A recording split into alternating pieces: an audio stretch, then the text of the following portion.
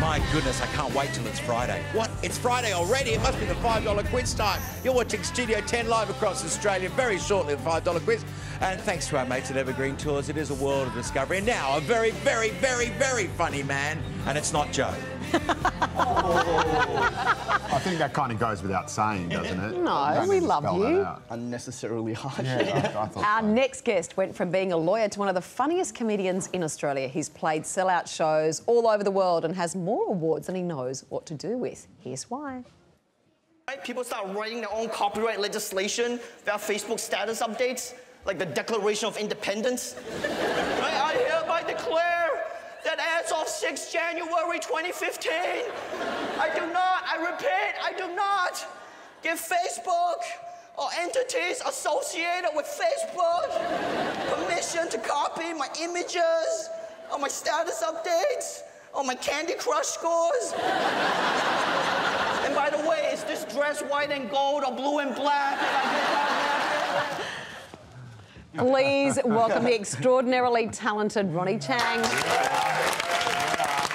Thanks for having me. Thank you so much for having me. I appreciate it. Ronny, we saw there in the introduction you were actually studying at university to become a lawyer. Why did you not want to follow the legal world? Oh yeah, I just I couldn't get a job. I couldn't get a job. uh, I tried my best and couldn't get hired, and I just did comedy, and it, you know, six years later I'm on the morning show. So there you go. And, Yeah. and this way, if people steal your jokes, you can sue them. Yeah. Uh, no. No, I actually am not. uh, I call, I'm called to. Uh, I'm an officer of the court in Victoria, but uh, don't do not have a practicing certificate, so I cannot legally hold myself out as a lawyer. so Hasn't stopped go. most of them, mate.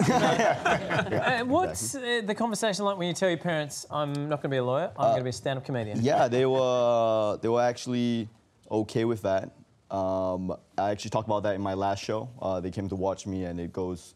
The conversation goes okay. It's it's a lot easier to uh, excuse things when you're doing well. Let's just put it that way. Yeah. So uh, if things are going okay, then then they, they, they're okay. Do With it. they come to your shows and laugh? No, they they they live in Singapore, so they've they've only seen me do comedy live once. And is there much about them in the show? Uh, there is a little bit of them, yeah. Uh, there's a lot. Um, there's a lot of mentioning of uh, my mom in, in the show. Uh, there's some mention of my father. Uh, give my mom more screen time though, so more stage time. Yeah. So uh, he's upset about that as well. So he wants me to come with some more stories about him. And you're appearing in the Great Comedy Debate this Saturday. Spoiler alert, look away, kids, cover your ears. Uh-huh. Tell us, do you win? Oh, uh, can we talk about that? I don't want to give it away. No, No, no. Don't give it away. Yeah, I don't give it away. But. I, I uh, let's just say I, I, I hold my You're, own. you're arguing Um, that social media is antisocial. Yes, ma'am. Yes. I think you're right. I think uh, I was basically having to argue downhill with that. I think that's a pretty easy argument to make, so I was happy with my the position they put me on. Uh, arguing against Joel Creasey, wonderful comic. Um, you guys know him. Used to, We know used to open for Joan Rivers, actually. Joe Yes. Creasey. Yeah, yeah, yeah. Is yeah, in, uh, in the good friend of US. the? And Yeah. how frightening is it when you do stand up comedy, when you get out there and think, if this joke fails, this is beyond humiliating? Have you ever been in that situation before? Well, no, not until you mentioned it. Uh, it- uh, it was, it was actually going pretty well.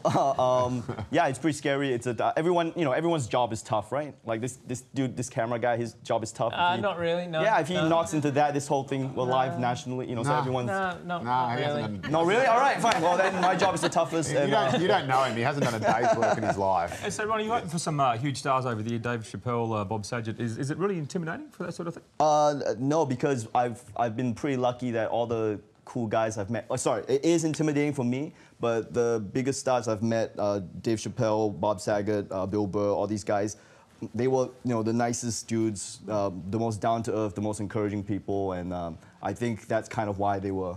What made them so successful? They're really kind to others, you know. You, you open for these guys, and you know, so you've got a whole crowd, and they've gone, "I'm coming to see Bob Saget. Who's this guy?" That is- Or is that is that worse, or is it worse that when another big comedian has just been on, killed the room, they're all laughing, and then you've got to go on and follow it? Uh, so, so yeah, so comedy's hard in any situation. That I felt that the most when I was opening for, let's say, Dave Chappelle, and I felt the whole theater is there to see Dave Chappelle. Wh- why the hell am I going on stage?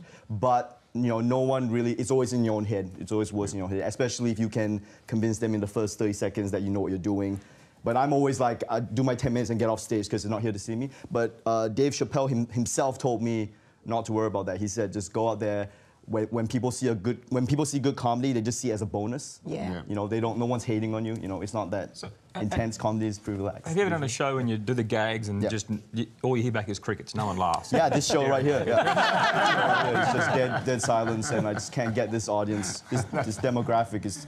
Maybe I should give out some Josh Careful. Groban CDs. Yeah, exactly. Pretty It's a sure great that's audience. Uh, It's a great audience. We have a fantastic audience. Yeah, That's you guys- Ronny for No, you guys are great. I, yeah, I'm saying I'm bombing, not you guys. It's me. They just heard their name mentioned, so they started clapping. It's not you, it's me. Yeah. Thanks, Uh, Ronny. Yeah, it's tough. Uh, when yeah, when, when you go out there and it doesn't work, it's tough. But uh, if you're a pro, you kind of know, you know, like there's there's there's times to test material. There's times when you shouldn't be testing it, and pros know when to do each. And you know, if people paying money for a show, you should know what you're doing. And, Yeah, well said. Um, Ronny, thank you so much. And you are on the Great Comedy Debate, which airs on Saturday night at 8.30 right here on 10. If you want to see him live, head to ronnychieng.com for more information. Big round of applause. Thank you, Ronny.